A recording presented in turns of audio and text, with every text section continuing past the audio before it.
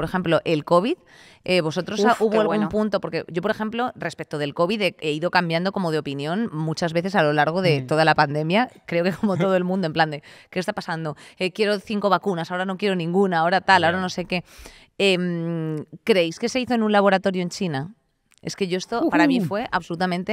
eh, yo dije, sí, claro. Yo, claro. yo me lo he llegado a creer Yo también. también, yo me lo llegué a creer. Pero es que a ver, que también nos dijeron que venía de un murciélago, ¿no? La sopa del murciélago, como- yo prefiero, sí, ¿sabes? Como que la sopa del murciélago, eso... Tiene Eso más- caló, eso Eh, caló. eso caló, sí, sí, Eso sí. caló.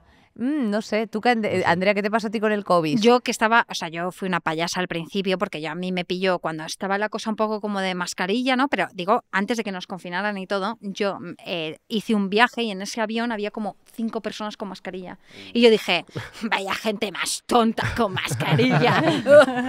hice eso. Eh, a los 10 días me tenía que volver de ese lugar en el avión con la mascarilla así.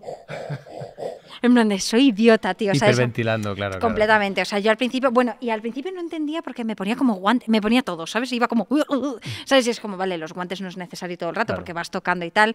Al principio, yo recuerdo, ¿no recibíais audios en vuestros grupos de familia o tal con supuestos médicos que contaban cosas? Ay, sí, es verdad. Es los audios. increíble. Yo recuerdo uno de mi familia que decía, no, esto no hay que preocuparse, esto solo con el contacto de la mano. Tú con la mano te das y eso es el COVID, pero está. hablando no. Y yo, pues ya está, si lo ha dicho una doctora, ya está. En vuestro grupo de familia o en algo había alguna de estas Lo, locas. lo que pasaba es que era la misma persona en la familia, el típico tío o la típica tía que, es, que está Juan un poco... Carlos. el- El- el está como- enterado, sí, sí. un poquito así, entonces tendía a tener este tipo de información y claro, ya te mostrabas un poco escéptico porque ya sabías que el Tito Antonio pues no la bueno, toca además que el Tito ¿sabes? Antonio, eh, cuando no ha tenido el COVID, ha tenido Afganistán, y cuando no ha tenido Afganistán, ha tenido eh, el volcán Cumbre Vieja.